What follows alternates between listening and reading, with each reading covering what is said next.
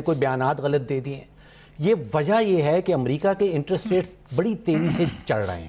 جو وہاں کا فیڈرل ریزرو ہے، جو وہاں کا سینٹرل بینک ہے، وہ جب بھی تاریخ میں اپنے انٹرسٹ ریٹ چڑھاتا ہے، تو دنیا بھر کی سٹاک مارکیٹس گرنا شروع ہو جاتی ہیں۔ ایک دوسرا ایلیمنٹ اگر آپ دیکھ لیں کہ پاکستان کی سٹاک مارکیٹ جو گرنا شروع ہوئی تھی، یہ تقریباً پندرہ سے پندرہ سے سولہ مہینے پہلے گرنا شروع ہو گئی تھی۔ یہ ٹرینڈ چل رہا ہے پچھلے پندرہ سولہ مہینوں سے۔ یہ کوئی سات ہفتے سے آٹھ ہفتے سے نہیں ہوا مطلب جب تک سابقہ حکومت رہی یہ ٹرینڈ تھا لیکن محسوس پھر بھی نہیں ہوا۔ لیجیے یہ کب سے گرنا شروع ہوئی یہ تقریباً مئی جون دو ہزار سترہ سے گرنا شروع ہو رہی ہے اور یہ ٹرینڈ جاری ہے ڈالر پھر بھی مستحکم رکھا سابقہ حکومت نے کیسے؟ اچھا اب اب ڈالر اب ڈالر کے اوپر آپ یہ بہت زبردست سوال ہے اس کا سوال کا جواب میں بنا کے لایا ہوں۔ مطلب اگر سے سارے ٹرینڈ گزشتہ حکومت کے دور میں بھی تھے تو پھر ڈالر کیسے مستحکم رہا؟ بجلی کی قیمتیں کیسے کنٹرول رہی گیس کیوں نہیں بڑھائی گئی؟ مہنگائی کیسے کنٹرول کی گئی؟ ایک ایک کر ڈالر کی بات کر لیں دیکھیں فروری دو ہزار سترہ میں سترہ ارنے گرنے نہیں دینی یہ بڑی غلط پالیسی تھی۔ اور اب ان پالیسیز کا نتیجہ آپ دیکھ رہے ہیں۔ اور صرف پاکستانی روپیہ پچھلے کچھ ہفتوں میں نہیں گرا۔ ٹرکش لیرہ بہت بری طرح گرا ہے، انڈین روپیہ گرا ہے، بنگلہ دیش کا ٹکا گرا ہے۔ دنیا بھر کی کرنسیز گر رہی ہیں۔ مقصد یہ نہیں ہے actually U S dollars is gaining strength وہ زیادہ طاقتور ہو رہا ہے کیونکہ ان کے انٹرسٹ ریٹ بڑھتے چلے جا رہے ہیں۔ ہم نے ایک ایک کر کے چلنا ہے تو میں اس کا جو ہے شاید حسن صدیقی صاحب سے بھی اس کا کاؤنٹر آرگیومنٹ لے لوں اور then we'll move on to our next point. میں قرضہ جات کے اوپر بھی آؤں گی ان کی ادائیگی کی بھی بات کروں گی سیک پیک پر بھی آؤں گی۔ شاید حسن صدیقی صاحب کیا یہی وجہ ہے کہ کیونکہ پوری دنیا کے اندر بین الاقوامی مارکیٹس جو ہیں گر رہی ہیں اور وہاں تو پی ٹی آئی کی حکومت نہیں ہے لہٰذا جو انٹرنیشنل مارکیٹس کا امپیکٹ ہے وہ پاکستانی مارکیٹس کے اوپر بھی آ رہا ہے۔ لیکن کیا وجہ ہے سر کہ جب ہم آئی ایم ایف کی اناؤنسمنٹ کا ذکر کرتے ہیں مارکیٹ میں تھوڑی سرٹنٹی آتی ہے تو ایک دم جو ہے مارکیٹ بہتر بھی پرفارم کرتی ہے لیکن اس کے اگلے دن ہی پھر مارکیٹ گر جاتی ہے۔ تو کیا وجوہات وہی ہیں جو فروخ سلیم صاحب نے گنوائیں؟ دیکھیے میں آپ سے دو تین باتیں بتا دوں۔ پہلی بات تو یہ ہے کہ اس اس حکومت کے ایک مہینے میں پاکستان کے جو فارن ریزروز ہیں وہ ایک اشاریہ چھ ارب ڈالر اسٹیٹ بینک کے گرے ہیں ایک مہینے کے اندر۔ فورن ڈائریکٹ انویسٹمنٹ ہم نے دیکھا کہ وہ نہیں آیا اور کرنٹ اکاؤنٹ ڈیفیسٹ بڑھا ہے۔ لیکن خرابی جو شروع ہوئی تھی وہ جو پچھلی حکومت کے دور کی ہم بات کر رہے ہیں میں تو پوری ذمہ داری سے کہہ رہا ہوں کہ مسلم لیگ نون کی پالیسیاں غلط تھیں مگر اس میں چاروں صوبوں کا برابر کا کردار تھا۔ اس کی وجہ یہ ہے کہ ابھی تک ہم یہ اس کو اپنے ذہن میں نہیں لا پائے کہ seventh N F C award اور اٹھارہویں آئین کی ترمیم کے بعد صوبوں کے اختیارات بڑھ گئے صوبوں کو کئی ہزار ارب روپے زیادہ ملے وفاق سے۔ تو صوبوں نے بھی وہی حرکت کی جو وفاق کر رہا تھا چاروں صوبوں نے۔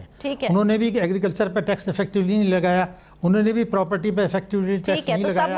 انہوں نے بھی مارکیٹ کا ڈی سی ریٹ جو ہے نہیں بڑھایا۔ اور انہوں نے بھی بائیس سو ارب روپیہ تعلیم اور صحت کی مد میں ایک سال میں کم مختص کیا۔ قومی تعلیمی پالیسی دو ہزار نو اور جو صحت کا ایجنڈا جو منشور تھا۔ تو آپ نے تو اگر ان تمام چیزوں میں کمی کی تو جو خرابیاں پہلے ہوئیں اس میں وفاق بھی ذمہ دار ہے اسٹیٹ بینک بھی ذمہ دار ہے سے ادارے بھی ذمہ دار ہیں چاروں صوبے بھی ذمہ دار ہیں اور یہی اب بھی ہو رہا ہے۔ یہی اب بھی ہو رہا ہے۔ تو مطلب تحریک انصاف کی حکومت نے نہ اپنی کوئی کیا تحریک انصاف کی حکومت نے اپنی کوئی پالیسی نہیں بدلی؟ دیکھیے تحریک انصاف نے جو وعدے کیے تھے اور جو منشور تھا وہ پاکستان کی ترقی کا ضامن تھا اور یہ بھی یقینی تھا کہ وہ اس بحران سے قابو پا سکتے تھے۔ لیکن بدقسمتی سے انہوں نے مفروضوں پر چلے گئے وعدوں کو پیچھے چھوڑ دیا۔ اب وہ کہتے ہیں جی چالیس ارب ڈالر تک ترسیلات لے جائیں گے۔ حالانکہ ایسا کچھ نہیں ہوگا۔ ابھی فروخ سلیم صاحب نے آپ کو بتایا، دنیا کے حالات بدل رہے ہیں۔ تین سال سے ہماری ریمیٹنسز نہیں بڑھی ہیں اور ہم تو ریمیٹنسز کو تجارتی خسارے کے لیے استعمال کر رہے ہیں۔ اس کو بہت زیادہ، اول تو بڑھیں گے نہیں اور اس کو تجارتی خسارے کے لیے بڑھانا جو ہے آگ سے کھیلنا ہے نمبر ایک۔ دوسری بات یہ تھی کہ آپ نے جو لوٹی ہوئی دولت ملکی اثاثے تھے وہ وعدے سے آپ پیچھے ہٹ گئے۔ اب آپ کہتے ہیں کہ جی ہم لوٹی ہوئی دولت باہر سے لائیں گے۔ بہت اچھی بات ہے باہر سے لانا لیکن اگلے دو تین برسوں میں وہ نہیں آئے گی۔ سمندر پر پاکستانی ہمیں قرضہ ضرور دیں گے مہنگی شرسود پہ سکوک ضرور خریدیں گے۔ لیکن اگر آپ یہ سمجھ رہے ہیں کہ وہ پاکستان میں ابھی سرمایہ کاری کریں گے تو نہیں کریں گے۔ تو مفروضوں کے بجائے یہ میں یہ چاہتا ہوں کہ اپنے ان وعدوں پہ چلے جائیں کہ ہم تعلیم اور صحت پہ خرچ کریں گے ہم لوٹی ہوئی دولت واپس لائیں گے تو جو ملکی اثاثے ہیں ان کو پکڑ لیں۔ اچھا یہ آپ نے بڑی زبردست بات کی ہے شاید صاحب اس کا مطلب تو یہ ہوا۔ ایک جملہ پورا کر لوں تو جی جی۔ ایک جملہ اور ہے تو واضح ہو جائے گا آپ کو۔ دیکھیے ابھی سپلیمنٹری امینڈمنٹ بل آیا ہے جو پارلیمنٹ نے پاس کیا ہے جو موجودہ حکومت نے پیش کیا ہے۔ انہوں نے کیا کہا ہے؟ کہ ہم شرح نمو کو سست کر دیں گے یعنی۔ اس سے سست رہے گی جو مسلم لیگ نون نے چھوڑی تھی۔ انہوں نے ایٹی تھری بلین کے نئے ٹیکس۔ لگائے اور ٹیکسوں کا دس سینتیس ارب روپے کم کر دیا۔ اور ترقیاتی اخراجات میں پچہتر ارب روپے کی کٹوتی کر دی۔ یعنی آئی ایم ایف کی پیشگی شرائط انہوں نے۔ پوری کی۔ معیشت کو اسٹیبلائز کریں گروتھ کو قربان کر دیں۔ یہ آئی ایم ایف کا ایجنڈا پہلے کر دیا۔ Point well taken Farooq Saleem صاحب آئی ایم ایف کی شرائط بھی اپنی جگہ پر موجود ہیں۔ ریمیٹنسز جو ہیں وہ نیچے جا رہی ہیں کہہ رہے نیچے ہی رہیں گی لوٹی ہوئی دولت واپس آنے کے کوئی امکانات نظر نہیں آ رہے ہیں۔ اس کے علاوہ اوورسیز پاکستانی بھی اس مد میں سرمایہ کاری نہیں کریں گے۔ قرضہ جات کی ادائیگی بھی ہے۔ یہ ساری چیزیں مل کر اگلے دو سے تین سالوں کے اندر پاکستان تحریک انصاف کی حکومت کیسے تبدیلی لے کر آئے گی؟ آپ کی بات کو کوٹ کرتے ہوئے اگر عالمی سطح پر حالات خراب ہو رہے ہیں تو یہاں کچھ بھی کر لے چیزیں اچھا کیسے ٹھیک ہوں؟ دو دو فیکچول غلطیاں کر دی ہیں۔ ریمیٹنسز جو اگست کے مہینے میں ہیں وہ پاکستان کی تاریخ میں سیکنڈ ہائیسٹ ہیں اور تیرہ فیصد انکریز ہوئی ہے ریمیٹنسز کے اندر۔ ٹھیک ہے۔ تجارتی خسارہ جو ہے جو پچھلے کوارٹر کا آیا ہے وہ دو اشاریہ چار فیصد امپروو ہو کے آیا۔ یہ دو دو اچھی اچھی پیسز آف نیوز ہیں. یہ غلطی کی تیرہ پرسنٹ ریمیٹنسز انکریز ہیں.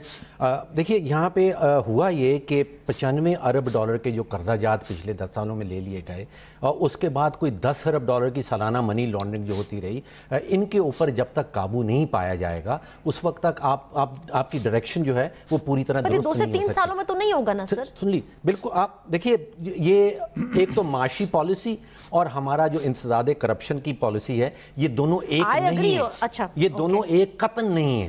اس میں ایجنسیز فرق ہیں وہ ایف آئی اے والے کر رہے ہیں وہ نیب والے کر۔ رہے ہیں۔ اس کا معاشی پالیسی سے زیرو پھر تعلق ہے پیسہ کہاں سے آئے گا؟ سوال یہ بنتا ہے کہ اگر آپ لوگ یہ کہہ رہے تھے کہ کرپشن اور یہ اب- ساری اب- چیزیں اب بتائیے۔ یہ کہاں سے آئے پانچ گا سو عام آدمی کو ریلیف دینے کے پانچ سو ارب روپیہ اس میں سے تحفہ ہے پیپلز پارٹی کا۔ آٹھ سو ارب روپیہ تحفہ ہے پی ایم ایل این کا۔ یہ کرپشن کے تحفے جو ہیں اس کی قیمت آپ نے اور میں نے صارفین نے ادا کرنی پڑے گی۔ یہ کسی اور کے پاس نہیں جائے گا۔ فیوچر کا معاملہ بڑا ٹھوس قسم کا ایک معاشی پل- پلان جو ہے وہ منسٹری آف فائنانس کے پاس بنایا ہوا ہے۔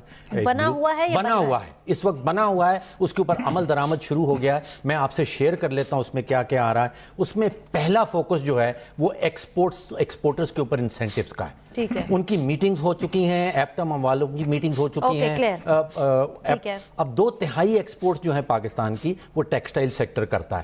اور آپ نے دیکھا ہوگا کہ پچھلے کچھ ہفتوں میں ایپٹما والوں میں جو آل پاکستان تو جب بجلی مہنگی کر دیں گے انہوں نے انہوں نے اشتہارات بجلی ان کا مین ایشو یہ تھا کہ جی بجلی سب سے مہنگی ہے ہماری ہم تو کمپیریٹیو ہی نہیں رہے۔ ادھر آپ نے پہلے نیوز بریک کی جی بجلی مہنگی ہو رہی ہے پھر آپ نے کہا جی ان کو ریلیف دے رہے ہیں کیسے دے رہے ہیں ان کو دیکھ- دیکھیے جب گیس کی پرائسز بڑھائی گئی تھیں تو جو ایکسپورٹ سیکٹر ہے اس کے اوپر ان کو ریلیف دیا گیا۔ اسی طرح اسی قسم کے جو اقدامات ہیں وہ ایکسپورٹ سیکٹرز کے لیے مزید آئیں۔ گے تو یہاں پہ کوشش یہ ہو رہی ہے کہ ایکسپورٹس بڑھ جائیں۔ ایکسپورٹ سے آپ کے پاس ڈالرز۔ آئیں گے اور آپ کا روپیہ جو ہے وہ مستحکم ہو جائے گا ہوئی دولت مستحق نہیں وہ وہ کرپشن کا ایجنڈا نمبر ون ہے لیکن آپ اس کو معاشی پالیسی کے ساتھ منسلک۔ نہ کریں۔ معاشی پالیسی ہم نے الگ سے تو بنانی پیسے ہے ہمارے ایکسپورٹ بڑھانے سے آئیں گے پیسے ایک فیکٹر ہاں، پیسے وہ لگے ہوئے ہیں وہ۔ شہزاد۔ اکبر صاحب برطانیہ جا رہے ہیں۔ اور اس کے اوپر پورے اقدامات ہو رہے ہیں۔ ایک بہت بڑا گروتھ ڈرائیور۔ میں پچھلے کئی سالوں سے اکانومی کو پاکستان کو واچ کر رہا ہوں۔ And we have never had a growth driver کوئی ایسی چیز اکانومی کے اندر آ جائے۔ جو بوسٹ کرے اور باقی سارے سیکٹرز کو لے کے آگے بڑھے۔ آپ اندازہ کیجیے ہاؤسنگ پلان جو حکومت کا آ رہا ہے۔ اگر اس میں کچھ بھی کامیابی ہو جاتی ہے تو وہ تقریباً چالیس ایڈیشنل اکانومی کے جو سیکٹرز ہیں ان کو ساتھ لے کے آگے بڑھے گا۔ اب سوچئے جب کنسٹرکشن شروع ہوتی ہے تو اس کے ساتھ آپ کی سیمنٹ میلیں چلنا شروع ہو جاتی ہیں۔ لیکن ایک خبر اس میں یہ سننے میں آئی تھی کہ جتنی پروجیکٹ کی لاگت ہے اتنے تو پیسے پاکستانی بینکوں کے پاس بھی نہیں ہے مارگیج کرنے کے لیے۔ یہ قطن غلط بات ہے۔ میں آپ کو حساب دے سکتا یعنی ہوں۔ سارے پاکستانی بینکس مل کے بھی سارا پیسہ دے دیں تو مارگیج کی مد میں نہیں دے سکتے۔ جی۔ میں ایکسپلین آپ کو فکر دے دیتا ہوں اگر آپ چاہتے یہ ہیں۔ غلط ہے خبر۔ یہ غلط خبر ہے بالکل۔ دیکھیے اس وقت پاکستانی بینک جو ایڈوانس کرتے ہیں پورے پاکستان میں وہ سات ہزار چار سو ارب روپیہ ایڈوانس کیا ہوا انہوں نے۔ اس میں سے صرف پانچ فیصد صرف پانچ فیصد اماؤنٹ کوئی ساڑھے تین سو تین سو ستر۔ ارب روپیہ بنتی ہے۔ جو کہا جا رہا ہے کہ اسٹیٹ بینک ہاؤسنگ کے لیے ایلوکیٹ کر دے۔ گا۔ آپ اندازہ کیجیے نائنٹی فائیو پرسنٹ ویسے رہے گا صرف پانچ پرسنٹ ادھر آئے گی۔